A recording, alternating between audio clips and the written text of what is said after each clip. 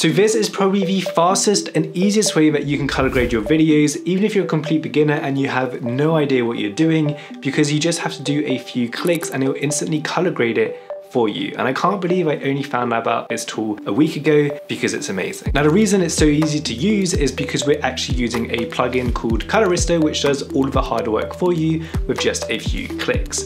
Now quick note, this isn't a free plugin but they have a 14 day free trial. You can go ahead and color grade your videos and it will also allow you to export these grades as LUTs. So next time you're editing you can just drag and drop these onto your footage and you're good to go. And with all that said, let me go ahead and show you how to use it. Okay, so before we get started, you're gonna wanna go ahead and download the Maxon app. So in order to do that, you just have to head over to this URL right here, download the free trial, it's available on Windows and Mac, and I believe you can do this on Premiere Pro, After Effects, and DaVinci. Once you've done that, you'll then wanna go ahead and open up this app right here. Then you just have to go underneath the red giant section and download Magic Bullet. Once that's done, you can go ahead and open up your window, go to extension and then select Magic Bullet Colorista 5. Now, it's really easy from here. All you have to do is open this up. Let's make it a little bit bigger. Then you want to go ahead and select your clip right here. It'll then open up this panel. Click on Guided Color Correction. Now, this is where the magic happens. It's going to open up this separate panel. Just go ahead and click on Continue. Here you can select either of these options, but I just select the standard video. Then from here, click on the next button and it's basically going to put your video in grayscale.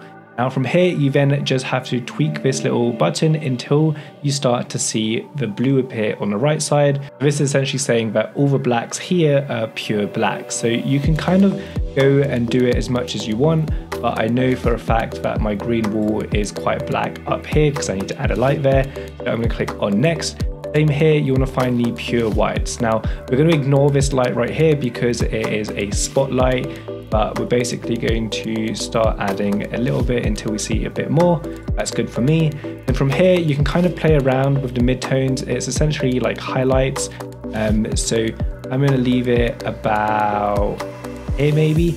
And then with the contrast, you can go ahead and add a bit more contrast. It's basically however you like it. So I quite like contrast in my video. I'm gonna click here. Now saturate is basically gonna start adding color back into your video. You can already see that it's done a fantastic job. So we're gonna go ahead and probably leave it here. Then here you'll see that you've got the color balance. So again, you can play around with this just depending on how you want it to look. I've white balanced my video so the color balance shouldn't be off too much. But if we add a bit of warmth you can see that it makes my skin a little bit warmer, which is quite nice. And also give it a bit of a tint, just like that.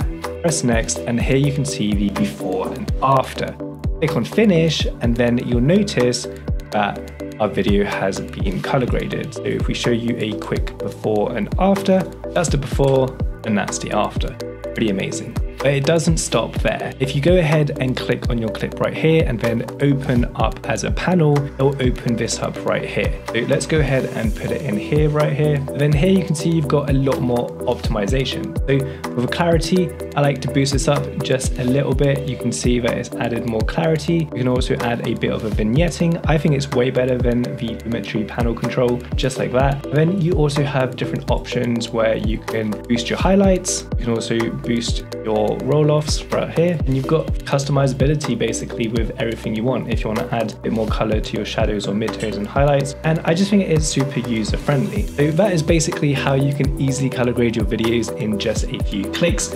Super easy and if you do want to go ahead and export this as a LUT just click on your clip, go to your effects control, click generate LUT and then it's then going to let you name it. So Seb's new LUT then I'm going to click on generate and now it's exported that as a cube file so I can now just drag and drop this onto any of my clips to get the exact same color grade. I hope you guys did enjoy this video. If you did, smash that like button, subscribe if you haven't already, and I'll see you in the next video.